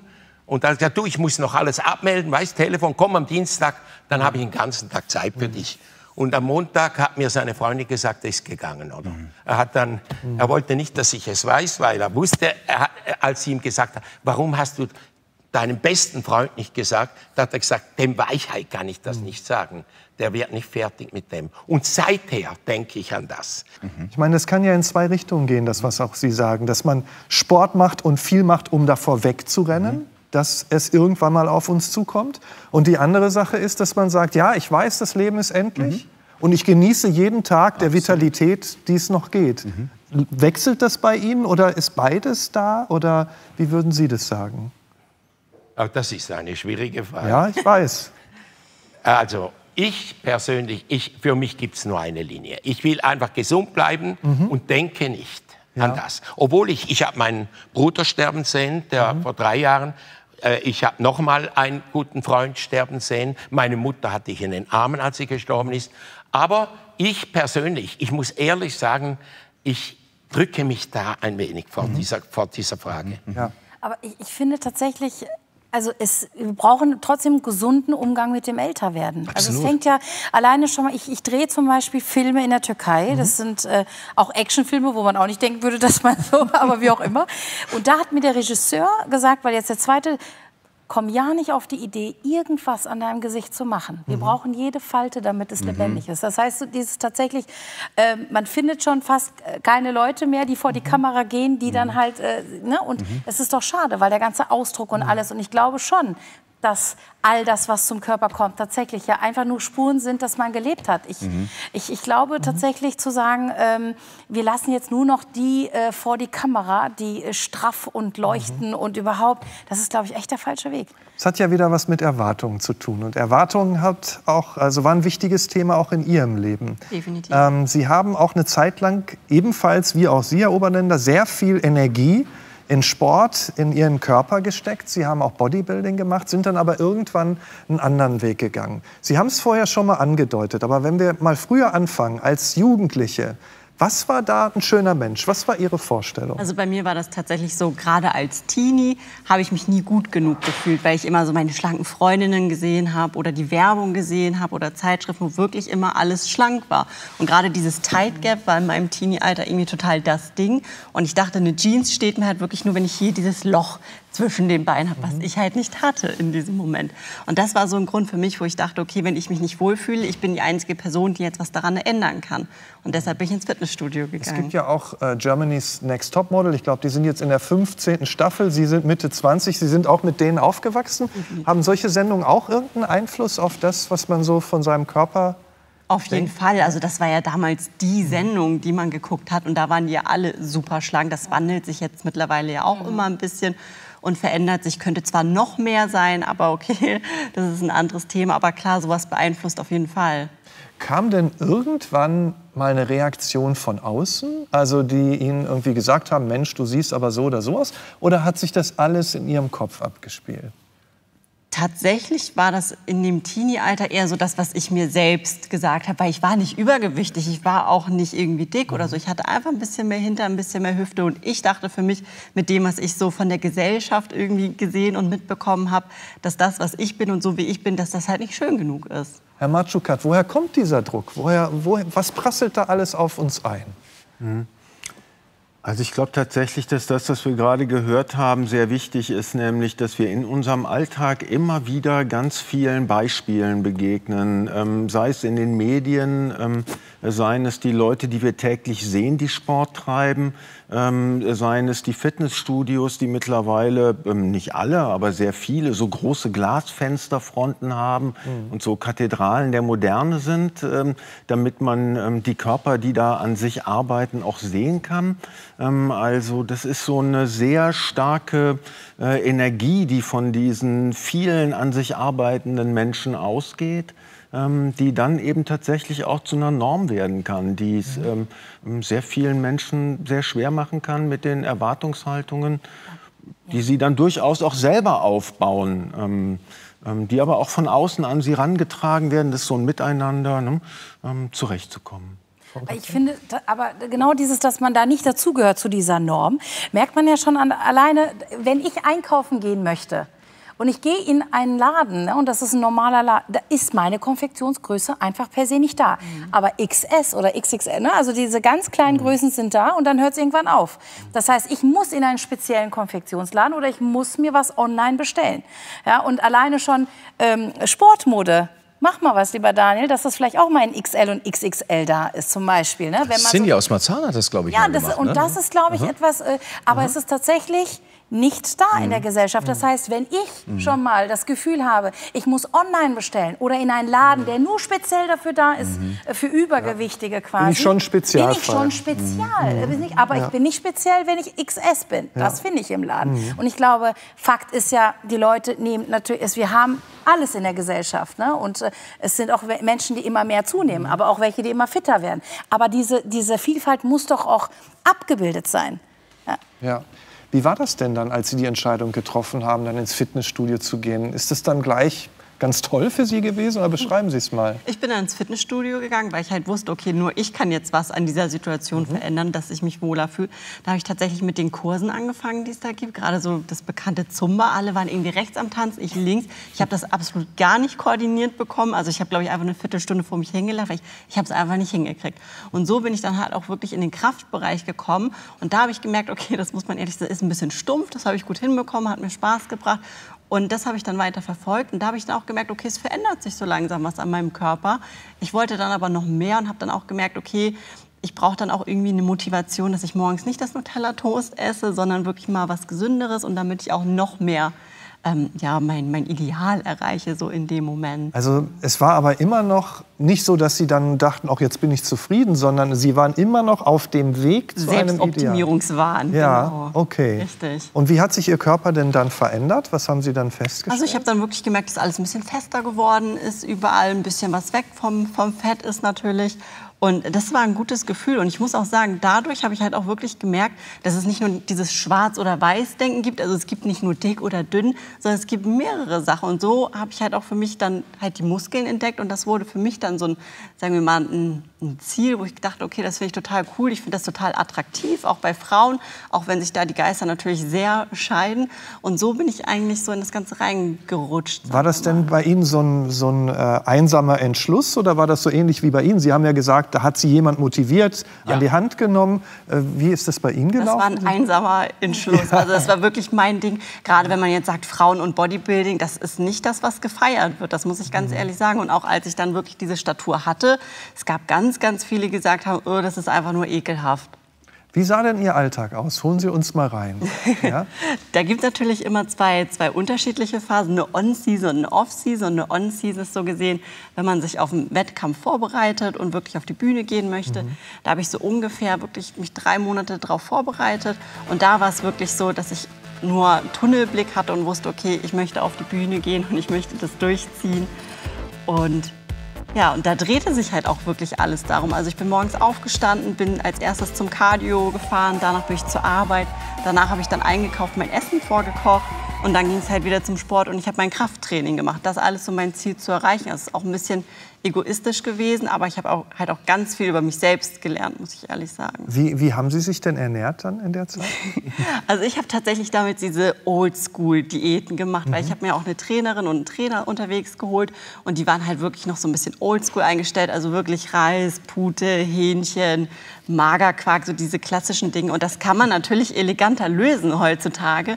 Aber früher war es wirklich so, ich hatte meinen Ernährungsplan, da stand es drauf und ich bin dem, sagen wir mal, blind gefolgt. So, also ich bin morgens aufgestanden und ich habe nicht auf meinen Körper gehört, habe ich jetzt Hunger, habe ich keinen Hunger, worauf habe ich Appetit, sondern ich wusste, okay, jetzt gibt es Haferflocken mit Proteinpulver, danach gibt es einen Quark und, und los geht's. So. Bei Wettkämpfen ist es ja so, Sie gehen auf die Bühne und dann werden Sie beurteilt. Genau. Da sitzen da Leute und sagen, ja, gefällt mir, gefällt mir nicht. War das etwas, was Sie gut fanden, genossen haben oder war Ihnen das auch so ein bisschen suspekt eigentlich? Das gehörte halt in dem Sport einfach dazu. Und das war ja das Highlight, sich nachher auf diese Bühne stellen zu können und diese Form präsentieren zu können. Dafür hat man ja die ganzen Wochen drauf hart hingearbeitet. Aber ich weiß noch, das erste Mal, als ich wirklich auf der Bühne stand und da meine Muskeln angespannt habe, da dachte ich so, Gott, was machst du hier eigentlich? Weil man kommt sich schon so ein bisschen bescheuert dabei vor, muss ich ehrlich sagen. So. Aber ich war halt so in dieser Szene und in dieser Blase drinne, dass es dann auch irgendwo wieder normal war. Und dann wollte man halt immer mehr. Das ist, glaube ich, auch so ein typisches Bodybuilder-Syndrom, dass man immer sagt, okay, man guckt in den Spiegel und sagt, ich könnte gut noch ein bisschen mehr Schultermuskulatur und auch meine Bauchmuskeln und Beine könnte ich auch noch. Und so hat mich das halt immer weiter reingezogen. Ich meine, Sie waren ja dann auch bei Wettkämpfen. Sie haben wahrscheinlich auch Anerkennung dann bekommen für, für, äh, für Ihre Leistung. Ähm, hat das denn dann auch Ihr Selbstwertgefühl gesteigert? Ging es Ihnen denn besser? Also das war wirklich eine, eine Talfahrt, möchte ich mal so sagen. Talfahrt? Eine Talfahrt. Also es ging hoch und runter, Ah, Höhen und okay. Tiefen. Also Berg- Weil und klar, Talfahrt. Genau. Alles klar. Weil klar, wenn die Leute sagen, oh, ich finde das total gut und wie du aussiehst und so, das gibt einen natürlich einen Push. Aber ich habe wirklich gemerkt, in dieser Bodybuilding-Zeit, zum Beispiel kurz vor der Bühne, wo wirklich nichts mehr an einem dran ist, da habe ich mich noch zu dick gefühlt. Ich habe morgens in den Spiegel geguckt und dachte, okay, ich kann nicht auf die Bühne gehen, ich bin noch zu fett. So. Also ich habe nicht das im Spiegel gesehen, wie ich wirklich aussah. Und das war für mich so ein bisschen das Gefährliche daran, wo man aber auch wieder sagen muss, was für mich nicht funktioniert, kann für jemand anderes natürlich wieder super funktionieren. Aber für mich auf Dauer hat das einfach nicht funktioniert und das musste ich dann auch mit der Zeit feststellen. Wann haben Sie sich das denn eingestanden? Weil ich meine, Sie waren ja in dieser, in dieser Maschinerie drin. Wettkampf, ja. Ihren Plan, die Ernährung. Wie, wie kam das denn dann? Also das ist nichts, wo du jetzt von heute auf morgen aufwachst und sagst, okay, das ist jetzt nichts mehr für mich. Das ist wirklich ein Prozess und ich hatte da so mehrere Faktoren, die ich auch längere Zeit wirklich ignoriert hatte. Also ich hatte eineinhalb Jahre lang meine Tage nicht mehr. Und das hatte ich dann auch meiner Mama erzählt und sie meinte, ach, geh bitte zum Frauenarzt. Und ich habe einfach so, lelele, ich höre nichts. Ich wollte es halt nicht wahrhaben. Das war eher so, okay, praktisch, ich habe meine Tage nicht mehr. Ne? Das ist ja eigentlich was Gutes so, oder erspart mir viel Aufwand. Und ich hatte auch so Cheat Days, davon hast du ja auch schon erzählt. Gerade wenn du dieses Oldschool-Diät-Geschichte machst, und dann die Cheat Day machst, dann hatte ich mich halt nicht mehr im Griff. Also es war nicht so, dass ich sage, okay, jetzt starte ich mal locker in den Tag und, und esse mal einen Schokoriegel hier oder da, sondern ich bin komplett eskaliert wirklich. Es war nicht ein Schokoriegel, sondern die ganze Packung. Und dann dachte ich, okay, jetzt ist der Tag eh gelaufen. Und dann habe ich halt alles so, sagen wir mal, nachgeholt, was, was ich mir dann verboten habe unter der Woche. Und das ist dann wirklich so eskaliert, dass ich an diesen Tagen wirklich mit Bauchschmerzen bis zum Finger in den Hals stecken da da war. Und das waren wirklich so Sachen, wo ich dann irgendwann gemerkt habe, okay, das ist ja gar nicht das, warum ich mit dem Sport angefangen habe, sondern ich habe mit dem Sport angefangen, weil ich mich wohlfühlen möchte in meinem Körper. Und zu dem Zeitpunkt hat wirklich so Sport, Ernährung und das Ganze wirklich mein Essen bestimmt. Ich bin morgens aufgestanden und dachte so, ja, eigentlich fühle ich mich ganz gut. Bin dann auf die Waage gegangen, hatte ein, zwei Kilo mehr, was als Frau ja eigentlich auch total normal ist. Aber dann war mein Tag gelaufen und ich habe mich dann auch wieder so ein bisschen mit extra Cardio-Training und sowas bestraft. Und was war dann, wenn Sie das gemerkt haben, aber ja noch in der Maschinerie drin waren, ähm, der Auslöser, dass Sie dann sich distanziert haben davon? Also tatsächlich war das dann ja die, die Brust-OP, die ich hatte zum Teil. Das war Ende 2017, ähm, wo ich mir das habe machen lassen, wo ich dann die Chance bekommen, genutzt habe, wie auch immer, zu sagen, okay, ich nehme ein bisschen Abstand von dem Ganzen. Ich war zwar relativ schnell wieder im Training, so nach zwei Wochen, habe so ein bisschen leicht die Beine trainiert, aber ich habe versucht, mir gleich zu sagen, okay, nutze das mal als Gelegenheit und zu gucken, wie, wie, wie sich das so verändern könnte. Und das habe ich dann gemerkt, dass es mir wirklich gut tut, so ein bisschen Abstand davon zu bekommen. Und dasselbe habe ich tatsächlich bei der Ernährung gemacht, dass ich da gesagt habe, okay, ich wiege nicht mehr alles akribisch ab, sondern ich versuche mal so ein bisschen in mich reinzuhorchen und zu hören, was braucht mein Körper eigentlich und wann habe ich Hunger, wann bin ich satt. Weil dieses Körpergefühl hatte ich komplett verloren. Also es gab es einfach nicht mehr, weil ich habe wie eine Maschine einfach, sagen wir mal, das abgearbeitet. So. Wie war das denn, als Sie plötzlich nicht mehr diesen Alltag hatten, äh, nicht mehr diese Leidenschaft hatten? Das war natürlich auch ein Prozess. Also es ist ja auch wieder so eine Sache, die passiert nicht von heute auf morgen. Und als ich selbst gesagt habe, okay, ich versuche das alles mal ein bisschen umzustellen und zu verändern, wusste ich ja selbst noch nicht mal, in welche Richtung das geht. Es hätte ja genauso gut immer noch mit ähm, so viel Sport sein können und immer noch mit Ernährung, nur halt anders. Aber so war es halt nicht, ähm, sondern es ist tatsächlich so, dass ich dann von diesem Essen abwiegen und so losgekommen bin, mein Körper sich natürlich auch verändert hat. Und ich war zu dem Zeitpunkt auch schon bei Instagram aktiv und habe da natürlich so meine sportlichen Erfolge und alles geteilt. Und deshalb sind die Leute mir gefolgt, weil ich diese krass durchtrainierte Athletin war. Und ich habe mir dann zu dem Zeitpunkt die Frage gestellt, okay, teile ich das weiterhin online oder verschwinde ich einfach von der Bildfläche und, und ziehe für mich das Ding irgendwie so durch. Und ich habe damals zu den Bodybuilding-Zeiten halt auch schon so Positives wie Negatives geteilt. Und durch den Austausch weiß ich halt auch, dass gerade in dieser Szene tatsächlich einige Probleme damit haben, so für sich die Balance zu finden. Natürlich gibt es auch welche, die total fein damit waren. Das muss ich immer wieder sagen, weil die Leute es gerne in den falschen Hals kriegen. So. Ähm, und dann habe ich das weiterhin geteilt. Mein Körper hat sich natürlich verändert. Und das war nicht einfach, weil ich für mich wusste ja selbst noch nicht, ist es der richtige Weg, den ich gerade gehe. Ich habe zwar gemerkt, okay, vom Kopf her wird es besser, mein Körper erholt sich, sagen wir mal wieder. Ähm, aber ich habe natürlich auch wirklich Shitstorm bekommen online. Also wirklich Beleidigung, du bist ja fett geworden und wir können mal wieder ein Shooting machen, wenn du abgenommen hast. Hat Sie das verunsichert? Total. Also man liest ja dann die Kommentare und irgendwann habe ich mich wirklich gefragt, weil das so viele kommentiert haben, okay, liege ich mit meiner Wahrnehmung vielleicht so daneben, dass diese Leute recht haben mit dem, was sie sagen. Und da kommt nämlich wieder diese Zeit für mich ins Spiel, weil ich wirklich gesagt habe, okay, ich lege jetzt mal alles von mir weg. Äh, keine Freunde jetzt gerade in dem Moment, kein Handy, kein Fernseher, weil wir lassen uns ja gerne im Alltag so von diesen ganzen Geschehnissen mitziehen und vergessen uns dabei. Und da habe ich wirklich mich hingesetzt oder habe einen Waldspaziergang gemacht und habe mich gefragt, okay, bin ich aktuell glücklich, so wie es ist? Und ich konnte es wirklich mit Ja beantworten und habe auch gemerkt, okay, das entwickelt sich gerade alles in die positivere Richtung und ich fühle mich vom Kopf her und vom Körper einfach viel entspannter. Und habe ich gedacht, okay, lass die schreiben, was sie wollen. Es geht ja darum, dass ich mich gut fühle. Und irgendwann und auch heute noch interessiert mich das nicht mehr. Da können die schreiben, was die wollen, weil ich halt schon so bei mir angekommen bin. Da sind wir wieder an dem Punkt, was du ganz am Anfang hattest. Wenn man so im Einklang mit sich selbst ist, dann können die anderen sagen und denken, was sie wollen letztendlich. Das ist ein Weg dorthin, ne? Ja. Ja. Sie arbeiten ja heute auch als Curvy-Model. Was ist das, wenn Sie das beschreiben würden, selbst beschreiben würden? Weil da gibt es ja wahrscheinlich auch unterschiedlichste Bilder von dem Begriff. Na klar, also Curvy, das merke ich auch heutzutage noch, ähm, wird immer sehr, sehr, sehr unterschiedlich definiert. Viele sehen Curvy halt immer noch in diesem Plus-Size-Bereich, was ich so für mich halt nicht definiere, sondern wirklich, es kann auch eine schlanke Frau sein, die einfach ein bisschen Hüfte, ein bisschen mehr Hintern hat. Das ist schon Curvy so, ne? aber das definiert natürlich jeder irgendwo anders. Wie viel Zeit verbringen Sie mit dieser Arbeit, wenn man so will? Ja, ja ist ja Arbeit. Oh, das ist unterschiedlich, Ja. phasenweise, je nachdem. Verdienen Sie auch? Also ist in diesem Fall wieder der Körper als Bodybuilderin, war er ja Ihr Kapital? Klar. Ist das jetzt wieder? Das ist auch jetzt noch und auch gerade auf der Plattform Instagram natürlich auch. Ja. Warum dreht sich das? Also Aber ich würde auch sagen, ich würde das jetzt wieder nicht nur auf den Körper beziehen, Ja. sondern auch wirklich auf die Eigenschaften und den Charakter, so wie auch bei dir. Also da geht es Mhm. ja nicht nur darum, dass ich jetzt irgendwie Kurven habe, sondern auch einfach so, wie ich vom Charakter her bin und was ich an, an Inhalten, sagen wir mal, irgendwie vermittle. Aber Da Sie, kann man sagen, Entschuldigung, Ja? du arbeitest jetzt mit einem Körper, der einfach äh, viel gesünder ist für dich Bei und mir äh, angekommen, Nicht, äh, ja. was einfach was du bist und nicht etwas Genau. im Bild, äh, dem du entsprechen willst. Genau, und vor allen Dingen merke ich halt auch, dass mein Körper sich eingependelt hat. Also ich kann mich, ich weiß ja, was gesunde Ernährung ist und das ist für mich ja immer noch wichtig, aber ich kann jetzt mittlerweile auch einfach Schokoriegel essen, Nutella-Toast essen, wie ich will. Früher hatte ich das Gefühl, es setzt direkt an, aber jetzt hat sich mein Körper einfach so eingependelt, dass sich das so hält. Also mein Körper sagt mir eigentlich schon, okay, das, das bist du und das ist deine Eigenschaft. Und wir versuchen als Menschen immer gerne, uns irgendwo reinzudrücken, weil wir das so als Ideal haben, vergessen aber, dass unser Körper vielleicht gar nicht dafür vorgesehen ist. Und das war es halt beim Bodybuilding. Es gibt andere Frauen oder auch Männer, die können das super durchziehen, weil, weil die einfach dafür gemacht sind irgendwo. Aber mein Körper möchte halt Kurven haben, um sich irgendwie wohlzufühlen so, und für sich an, angekommen zu sein. Sie haben ja auch gesagt, ähm, es geht ja nicht nur ums Äußerliche, sondern auch um die Inhalte, die Sie vermitteln. Was ist Ihnen denn wichtig? Was ist Ihre Botschaft, wenn man so will? Das ist ja wirklich das Ding. Guck in den Spiegel und feier dich selbst. Also guck nicht so viel nach links und rechts und hör darauf, was andere sagen, sondern hör in dich hinein und mach das, was dir gut tut. Ist es auch das, was Sie Jugendlichen, ähm, weil Sie waren ja auch in so einer Zeit, äh, als Sie unsicher waren, was Sie Jugendlichen mit auf den Weg geben würden? Definitiv. Und ich habe da auch mal eine Schulklasse besucht.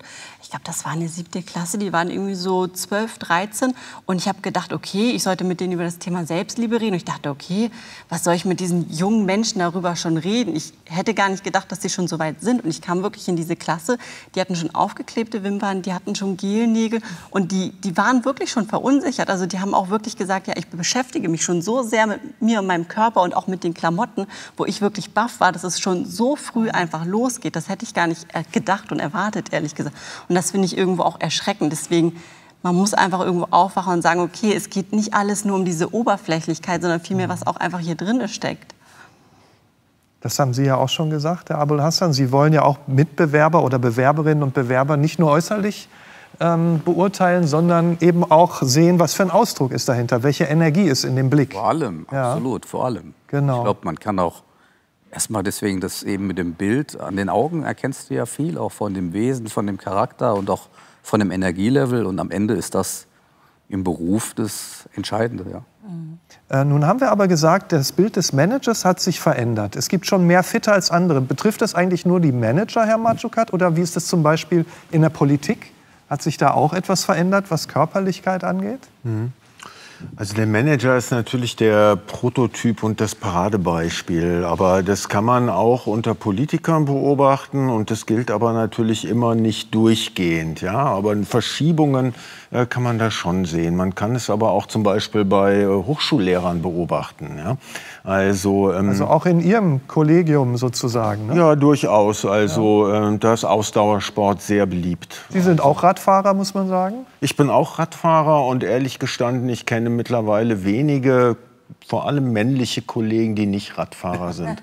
Also ähm, und gerade jetzt in Corona-Zeiten hat man das ja auch wieder gesehen, also dass ähm, unglaublich viele Leute draußen unterwegs sind. Wie sind Sie denn unterwegs?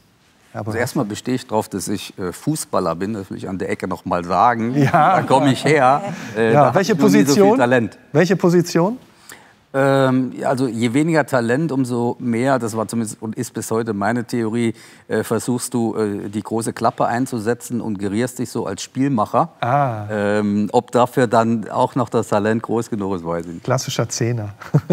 und wie sieht denn heute ähm, Ihr Tag aus, wenn wir jetzt mal über Sport, Ihren Körper und so weiter reden? Ja, das ist mir jetzt echt ein bisschen peinlich, weil äh, Daniel jetzt äh, mir so die Story geklaut hat. Äh, bei mir ist sie aber notgedrungen so, dass ich auch sehr früh aufstehe. Äh, ich brauche meinen Sport, ähm, um eigentlich den Tag vorzubereiten, wenn ich ehrlich bin, um wach zu werden. Das ist eine Art Meditation, das ist auch ein bisschen äh, zu mir selbst finden und weil eben nun mal schon äh, der Tag bei einem Manager von vielen anderen abhängt, man ist fremdbestimmt, kannst du jetzt nicht einfach sagen, du machst die ganze Nummer mittags um zwei oder um zehn. Also stehe ich auch sehr früh auf und ähm, Also auch so um sechs, fünf, sechs oder ja, wann? ist Oder? auch so Richtung halb sechs, Ja. weil äh, dann musst du erstmal noch ein paar Dinge vom Vortag. Wir haben ja so eine äh, Sache, dass unser Geschäft leider oder nein, ich bin froh, dass es so ist, äh, äh, dass unsere Kunden 24 mal 7 auch Dinge bei uns nachfragen und dann bleibt eben vom Vortag einiges zu tun. Das arbeite ich dann ganz schnell weg. Das hört sich jetzt dramatisch an. Das geht heute mit Smartphones also relativ gut äh, und bringt mir dann so den Kopf frei. Und dann bin ich so um 6 Uhr auf der Piste. Und, Was heißt das Piste? Wo, was im- ist Ihre also Piste? Ich wir uns versuche Mhm. mir sowohl Hotels äh, so auszuwählen, dass da eine Laufstrecke ist. Und das ist dann für mich so unter der Woche die Piste, dann laufen zu können. Und zu Hause wohnen wir mitten im Wald, also da geht das sowieso so. Und dann äh, trolle ich da mal los. Und Und wenn Sie dann so lostrollen, äh, denken Sie, das schalten Sie dann ab? Haben Sie Musik auf den Ohr- Ohren? Äh, denken Sie dann trotzdem weiter an den Beruf? Äh, holen Sie uns mal rein in Ihren. Ja, also auf jeden Fall, das ist, äh, darunter leidet auch meine Frau, die Katja. Äh, und wir haben eine tolle Beziehung, aber den einen Punkt wird sie bei mir bestimmt wegwünschen. Ich brauche immer Beschallung. Also auf jeden Fall ist Spotify immer dabei und die Musik ist immer dabei. Ähm, aber das ist eigentlich so der Hintergrund. Und wenn ich dann, äh, und früher waren sicherlich auch Leistungsparameter, Geschwindigkeit, Herzfrequenz und so weiter, das spielt für mich alles überhaupt keine Rolle mehr. Ähm, ich sage wirklich das Wort Rollen, weil auch äh, das ein mit dem Körpergefühl in sich harmonisches, stimmiges Tempo und Laufbild sein muss. Und da denke ich erstmal gar nicht. Und ich glaube, so drei Phasen bei meiner Lauferei, ist vielleicht sagen wir mal so anderthalb Stunden. Und die erste halbe Stunde werde ich einfach wach. Und was da so im Kopf passiert, weder programmiere ich das, noch nehme ich was vor. Das ist so ein teilweise äh, Vortag verarbeiten oder auch nicht oder einfach an die Gegend rumgucken. Ist alles so schön. Es ist angenehm kühl, ich genieße die Umgebung, es macht Spaß, es, es rollt gut, es läuft gut. Und dann merke ich so und dann denke ich, hoppla, jetzt denkst du was. Und dieses Denken sind dann meistens Themen der Woche, aktueller oder auch der Vortage, wo noch gewisse Entscheidungen oder Themen in dir gären und die kannst du dann extrem gut und auch mit deiner Intuition verarbeiten und das lasse ich dann einfach auch zu. Und zum Teil führe ich da auch Dialoge mit Kollegen, mit Kunden, äh, mit Mitarbeitern äh, oder bereite auch Vorträge vor. Also ich habe mittlerweile, das ist ein echt toller Luxus an der Lauferei. Ähm, du kannst wirklich dir äh, etwas so in den Kopf nehmen, auch einen Text, dass du das im Laufen, aber das ist kein Zwingen. Ich sage jetzt nicht, heute musst du eine halbe Stunde deine Rede üben, sondern das passiert automatisch. Du feilst an ihr und dann so die letzte halbe Stunde landest du dann irgendwie so wieder und äh, das hat dann schon so ein bisschen damit zu tun, dass du den Tag organisierst und äh, dann sagst, was passiert jetzt als nächstes und das ist so ein bisschen dann auch wie beim Triathlon. Also ich packe sehr viel rein in diese frühe Morgenstunde, dass ich immer knapp dran bin. Dann denke ich so, jetzt musst du also auf dem Weg zur Dusche schnell noch die drei Dinge, die du dir gerade gemerkt hast, irgendwie loswerden. Die müssen noch ins Büro. Das hast du dir äh, äh, vergessen, jetzt in den Computer zu geben. Dann nimm noch gerade auf dem Weg zur Dusche das und das mit. Und dann bin ich schon wieder komplett im Organisieren. Aber der Punkt ist ja, ich meine, wir haben ja gesehen, das kann für unterschiedliche Dinge stehen. Es kann für eine Zeit stehen, Fitness machen, irgendwas machen. Für mich ja, um irgendwie eine, eine Balance zu finden, was auch immer. Es hat aber auch ähm, etwas, was mit Vergleich, mit Wettbewerb, Vergleich mit mir oder Vergleich mit anderen zu tun hat. Sie sind ja auch Triathlet. Sie sind auch Marathonläufer. Leben Sie da nicht auch einen, Wettkämpfer aus, der entweder einer Zeit nachjagt oder auch gut sein will? Also erstmal, das ist da muss ich ganz ehrlich sein, auch mit allen hier, die das jetzt sehen, meine äh, Leistungssportzeit ist lange over. Äh, ich habe Triathlon gemacht, ich habe Marathons gemacht und natürlich war da die Zeit, hat eine Rolle gespielt. Mein sportlicher Ehrgeiz und ich bin gerne ein Wettkampftyp und, und bin auch, glaube ich, ein guter Wettkampftyp, aber die ist äh, im Moment auf den Spielsport konzentriert. Also ich nehme sehr ernst, wie wir freitags Fußball spielen. Oder wenn ich mit Freunden ja, Tennis okay. spiele, dann ist das nicht nur um angetreten zu sein. Also da geht es durchaus auch um das Resultat. Aber bei dem Thema Laufen, Ausgleich, Fahrradfahren, äh, erstmal genieße ich das per se. Das ist wirklich Zeit für mich. Mhm. Die brauche ich auch. Die gibt mir eine Energie zurück. Und in dem Wettkampfsport investierst du sehr viel Energie ins Ergebnis. Und das möchte ich heute eigentlich nicht tun. Wir reden Deswegen. ja auch über, über so einen Zeitverlauf. Wie nehmen Sie eigentlich jetzt so die nachfolgende Generation wahr? Sind die auch so ehrgeizig, so, haben die so einen Biss? Boah, ich will da jetzt gar kein Pauschalurteil äh, äh, fällen. Ähm, ich glaube, es ist heute schon so, dass jeder dieses Körperbewusstsein insoweit entwickelt hat, dass er versteht, ähm, und das ist ja nicht nur ein Spruch, gesunder Geist im gesunden Körper. Also das ist der mhm. eine Teil, wo für uns Manager oder ähm, Geist, geistig arbeiten klingt so jetzt arrogant hoch, also jeder, der jetzt vielleicht nicht körperlich arbeitet, äh, versteht, er braucht seinen Kopf und der Kopf, der braucht eine Basis und der Basis ist die, die Basis ist der Körper und der muss eine gewisse Belastbarkeit haben. Und diesem ähm, auch nicht religiösen Mantra, das würde ich gar nicht sagen, sondern vernünftigen Grundgedanken folgen immer mehr und das halte ich auch für vernünftig, weil man mhm. damit einfach auch gesünder bleibt. Und ich glaube, in Summe, das, was ich schon erkenne und das halte ich auch für richtig und gut, ist das Bewusstsein, gesund zu sein und gesund zu bleiben. Das ist sehr breit und sehr stabil geworden. Wenn man das so sieht, es gab ja mal eine Zeit, da waren wir als Generation sehr stark auf die Arbeit fokussiert. Arbeit ging vor allem. Die heutige Generation sagt vielmehr Work-Life-Balance, ich möchte das im Einklang haben. Wenn wir jetzt merken, es gibt einen Fitnesstrend, glauben Sie, dass es da auch eine Gegenbewegung geben wird? Das heißt, also jetzt mal nicht übertreiben, äh, jeder soll nach seiner Fasson sich wohlfühlen oder sehen Sie es eher so, dass wir weiter auf dem Weg der Selbstoptimierung sind? Naja, es gibt ja die Body Positivity Bewegung, die ähm, genau das sagt. Schau in den Spiegel und feier dich selbst. Also jeder Körper ist ein äh, schöner Körper, jeder ist ein Körper, mit dem man zufrieden sein sollte. Und das ist schon eine Bewegung, die in den letzten Jahren ähm, sehr viel auch an Dynamik hinzugewonnen hat. Was ich darum, da aber wieder auch auffällig finde, ist etwas, was ja eben in dem Gespräch auch schon deutlich wurde und was Sie auch angesprochen haben, ähm, dass der Körper auch wieder im Zentrum steht. Mhm. Ja? Also so ein damit gar nichts zu tun haben gar nicht affiziert sein, ja, ähm, das überhaupt nicht wahrnehmen für sich oder so. Ähm, also das wäre vielleicht tatsächlich eine Gegenbewegung, die ähm, dann auf eine gewisse Art und Weise von dieser großen Fitnessdynamik unabhängiger wird. Hatten wir das eigentlich jemals?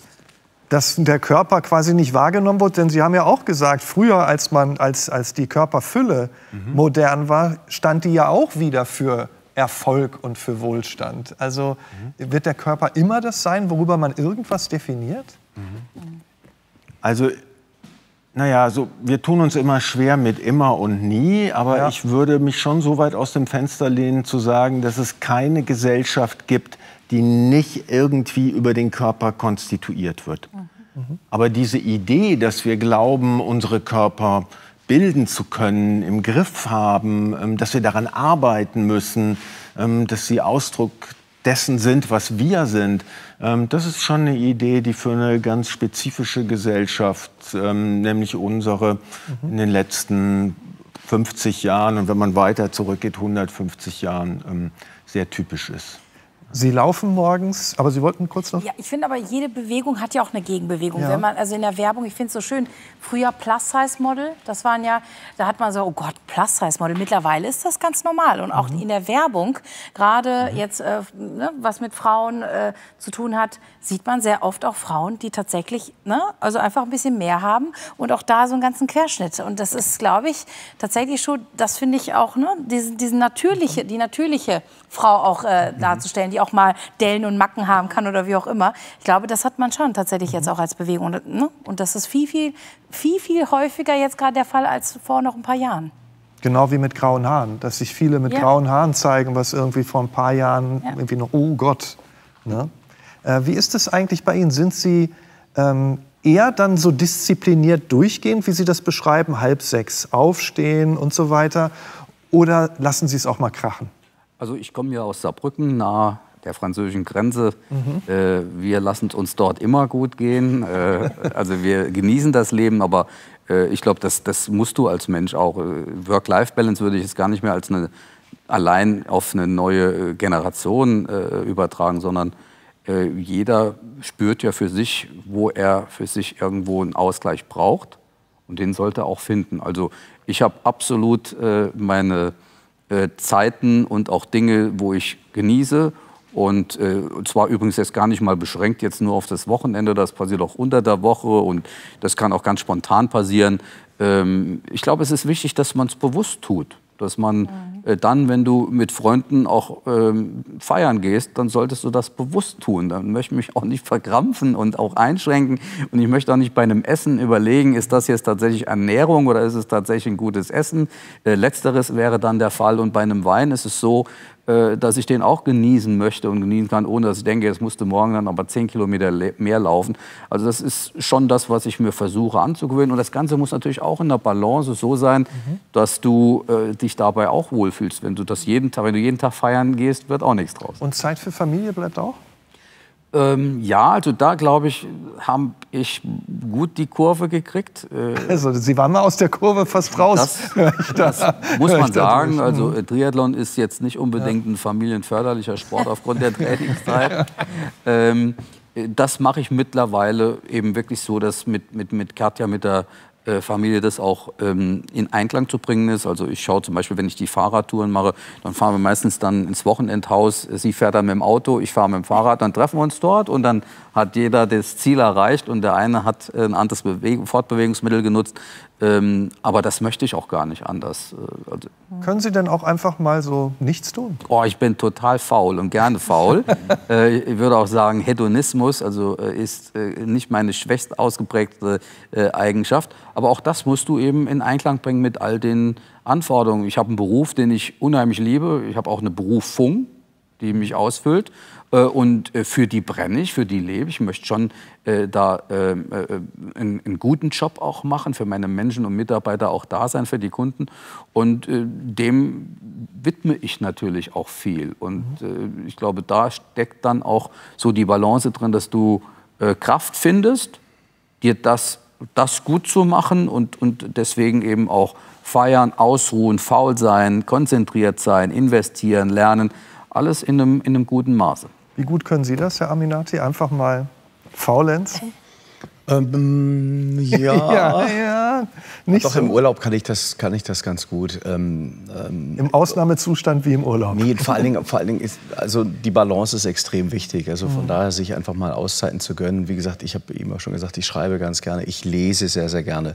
Und ähm, das ist schon für mich eine, eine Lebensqualität, auch mal loszulassen. Was haben Sie mitgenommen aus der Runde, Herr Oberländer? Ja, ich habe sehr viel gelernt äh, von allen hier in der Runde. Und wenn ich jetzt sagen möchte, wann ich faulenze, am Morgen. Ich bin am Morgen nicht zu haben. Am Morgen schlafe ich aus, solange ich schlafen kann. Und dann bin ich am Computer und irgend äh, erledige so, lerne vielleicht noch etwas Text, aber ich faulenze. Und mein Tag fängt erst um 12 Uhr an. Ja, wunderbar. Wann fängt Ihr Tag an? So kurz nach sieben. Und können Sie denn auch mal einfach so die alles von sich strecken Ja, das und kann nichts ich. tun? Ja, ja, da bin ich gut drin. Ja? Und was hat Sie, wer oder was hat Sie inspiriert heute? Also ich finde die ganze Runde super interessant, vor allen Dingen, weil man sieht, jeder geht so seinen Weg und die sind irgendwo schon sehr unterschiedlich und trotzdem kommt man so auf denselben Nenner. Also dass es wirklich darum geht, dass der Körper gesund ist und dass man was für sich tut. So, da sind wir alle einer Meinung und jeder kommt halt anders ans Ziel, sagen wir mal so. Und ich glaube, das ist auch immer ganz wichtig zu sagen, dass jeder halt für sich seinen Weg finden muss. Nach all dem, was wir so über Körper geredet haben, was sollte im Leben noch wichtiger sein? Also ich finde, das ist tatsächlich, alle Säulen, Säulen sollten drin vorhanden sein. Ne? Und dieses Ausgewogene und diese Balance und tatsächlich nicht das nur um sich selbst kreisen, sondern auch Zeit äh, für Gesellschaft, Zeit für Familie, Zeit zum Faulenzen. Ich glaube, das ist es. Und äh, vielleicht nehme ich euch beide mal mit als Wecker, dass ich um 5 Uhr morgens aufstehen kann, weil ich bin total der Nachtmensch. Ich fände es mal gut, dass man auch äh, den Morgen für mich mal Es gibt Eulen und Lerchen, Ja, sage ich nur. Ja, mein Körper, mein Kapital. Vielen Dank an diese Runde, vielen Dank an all unsere Gäste. Jetzt übrigens die Spätschicht, unter anderem mit Johann König und Martin Frank. Und wir sehen uns wieder in einer Woche, dann mit dem Thema Mein zweites Leben. Bis zum nächsten Freitag. Danke nochmal an alle hier. Schönen Abend noch. Bis bald in Ihrem Nachtcafé.